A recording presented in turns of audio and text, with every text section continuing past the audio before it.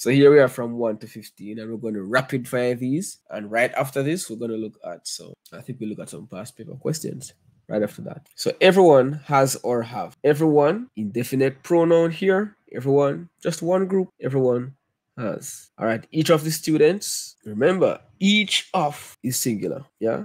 Each of the students is either Remember the rule now about either, either my father or my brothers. Remember, we're going to take the, subject that's closer to the verb.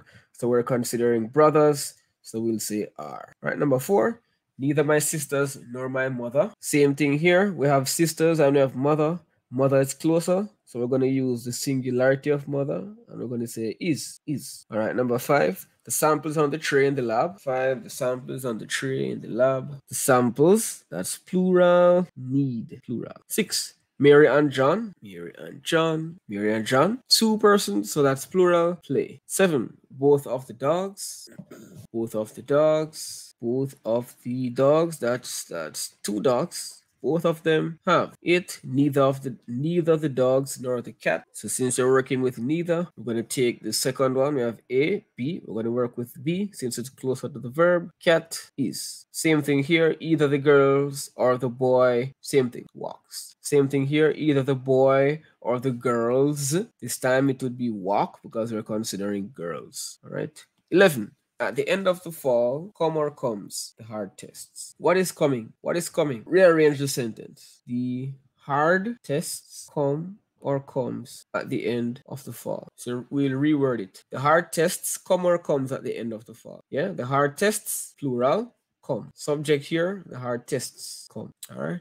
A bit tricky, a bit tricky. 12. The slaughter of animals for their fur has or have caused controversy. Slaughter of animals, slaughter. One thing happening, one issue, one problem. The slaughter of animals has. Yeah? So don't be tricked into thinking that animals is the subject. It's the slaughter of animals, just like it was the presence of bacteria.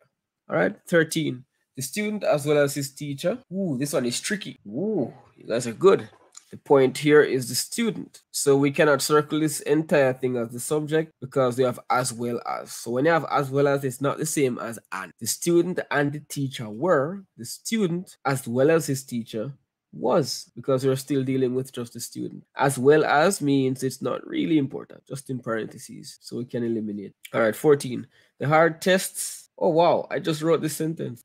okay, the hard tests come. Both of my roommates has or have decided to live in the dorms. Right? Subject, plural. Subject, plural. So we need a plural verb, have. Alright.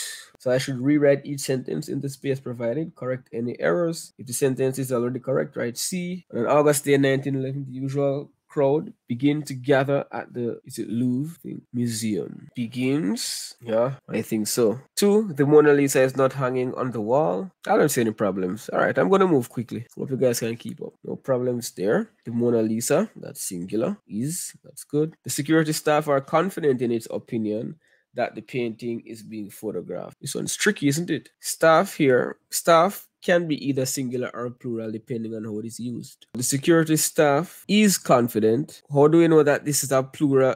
This is a singular staff in this case, is confident in its opinion. So it makes it clear that it's considering the staff as one group, one entity as opposed to the individual staff members. Its opinion. Its opinion. So if this its were instead there, then the staff would be considered um, plural. You'd be considering the individuals of the staff, right? So the security staff um, is confident in its opinion. Its opinion. Um, 60 minutes are all the time that the robbery and escape took. Even though there are many minutes, it's still one amount of time. 60 minutes is all the time. 60 minutes is all the time. Um, it took, they took. Yeah, we can't say 60 minutes are all the time. 60 minutes 60 minutes is all the time it took. Five, the robbery team consists of a mastermind, a forger, a carpenter, and two accomplices. We know this is one team, so it should be consists. One team consists. A million francs do not even come close to the amount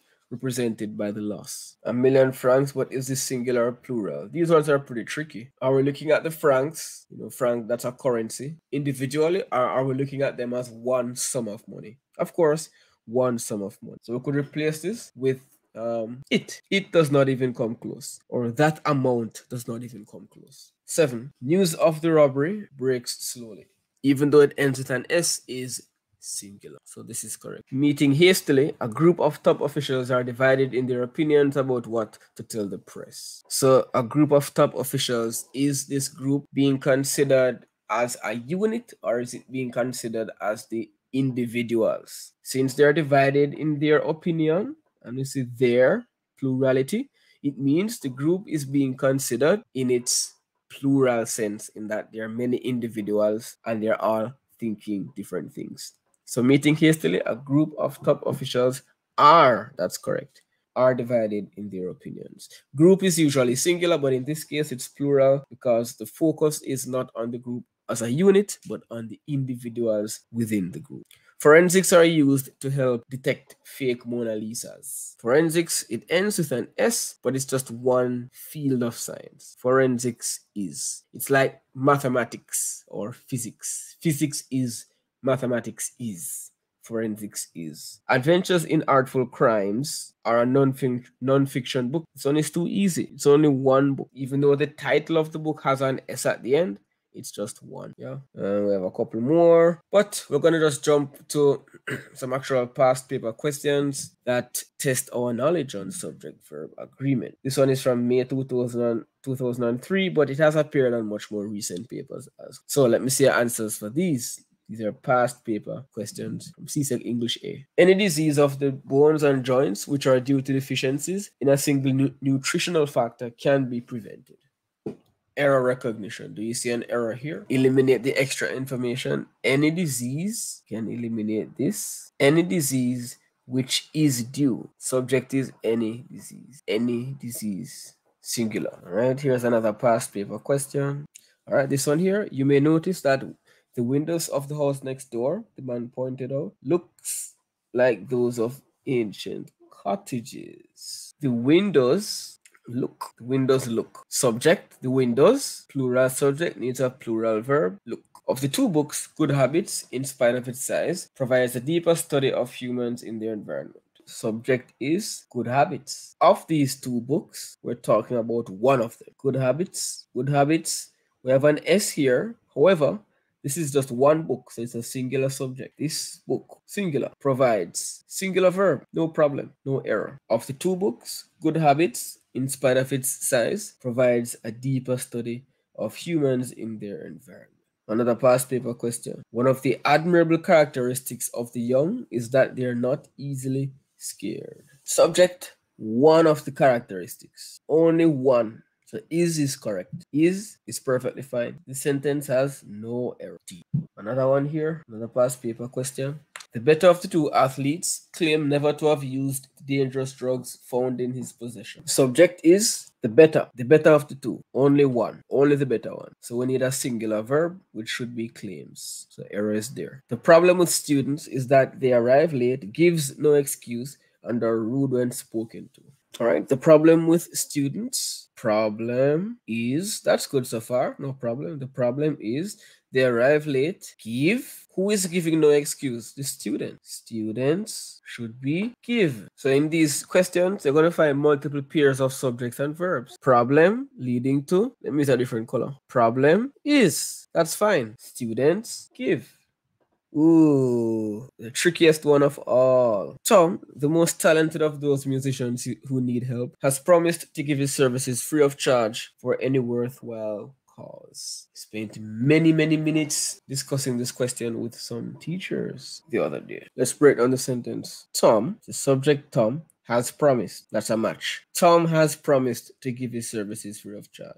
No problem so far, right? Now, get to something a little bit tricky here. The most talented of those musicians who need help. This is all one big piece of extra information. So Tom has promised, but who are the ones who need the help? It's not Tom, it's those musicians, including Tom, but not just Tom. So those musicians who need help, that's a match. Plural subject, plural verb, no problem. Singular subject here, singular verb, no problem. Therefore, the sentence has no error tricky one. So there are many musicians who need help. Tom is one of them, and he has promised to give his services free of charge.